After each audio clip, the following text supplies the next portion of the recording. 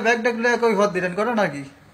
না ভাই আর মালয়েশিয়া চলে যাম বাংলাদেশ। আমাদের মাননীয় প্রধানমন্ত্রী নেত্রী শেখ হাসিনা আমাদের জন্য বাংলাদেশে অনেক কর্মসংস্থানের ব্যবস্থা করেছেন।